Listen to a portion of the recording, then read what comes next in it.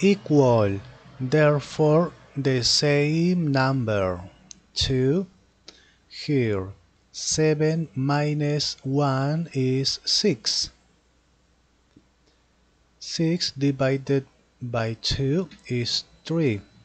Divided or simplify. Finish.